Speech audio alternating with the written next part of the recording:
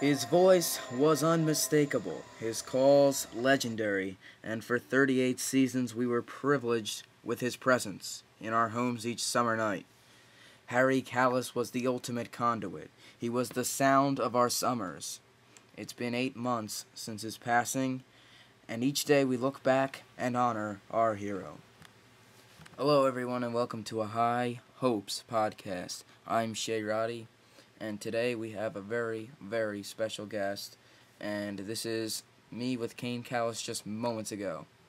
All right, joining me now, it is the son of the late great Harry Kalas, Kane Kalas, and uh, Kane, how have you been? I mean, it's it's been a, a rough year for all of us, but I I'd certainly imagine for you especially.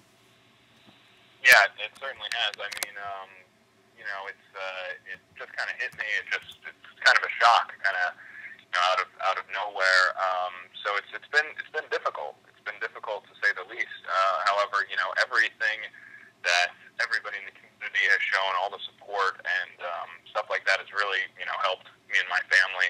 It it obviously is not going to uh, to, you know make it easy, but um, but it uh, you know that has helped.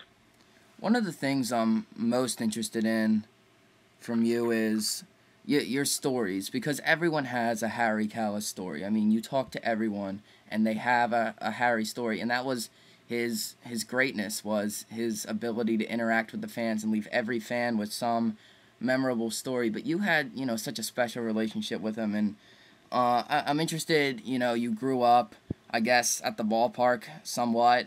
Uh, you grew up around Rich Ashburn and What's what's your favorite Harry Kalas story?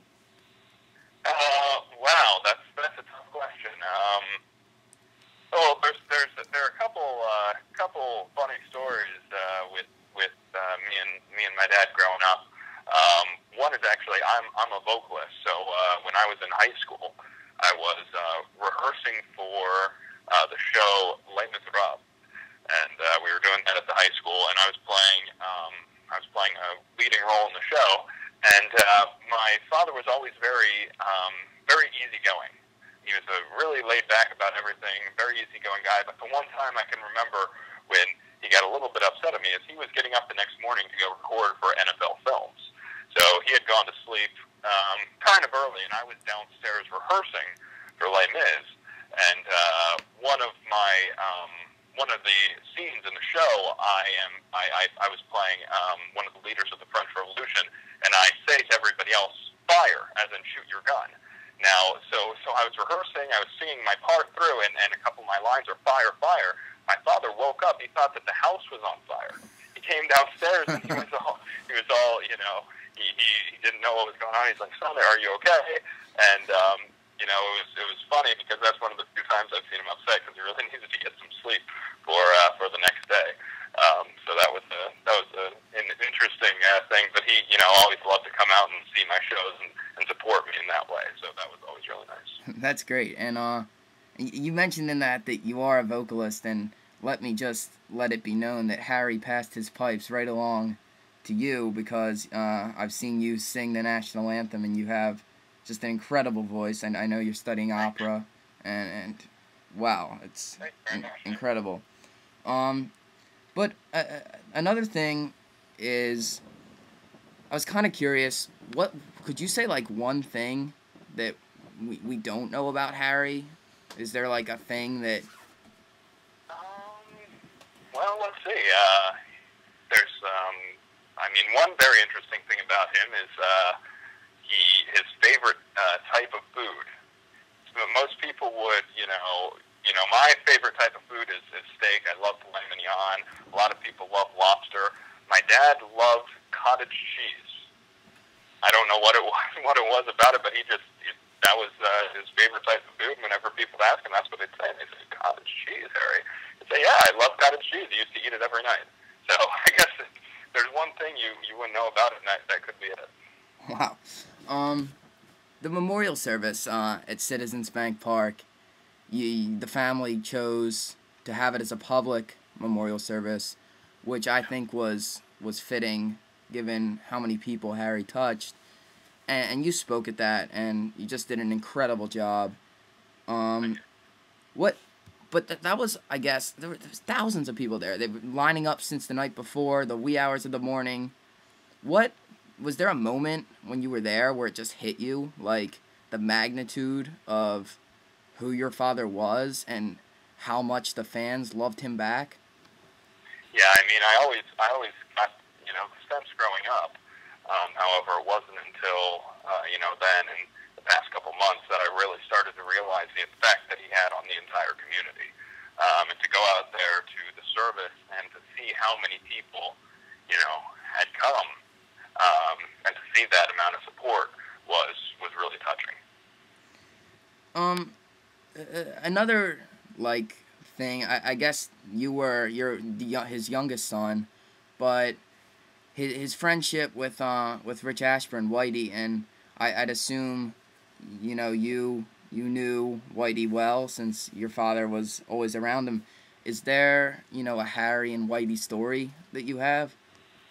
Um, not not really. I mean, I was I was younger uh, when they were around. I can't really recall any stories. It was actually uh, it was actually Whitey though who did teach me how to throw a baseball. But that's that's uh, it's interesting that he was the person who taught me how to do that. On the top of my head, I can't I can't really recall um, uh, you know personal Harry Whitey story. Of course, there's always the uh, Celebre's Pizza story, which is uh, one day during a, a baseball game, um, Whitey uh, you know Whitey often on the air would ask um, or would um, would say these steak sponsors, and they were uh, they were vendors that were in the ballpark because he was hungry and he wanted food. So he would make up a fake sponsor um, who who was a, a vendor at the ballpark who did, wasn't a real sponsor of the Phillies, just so they'd bring him up food.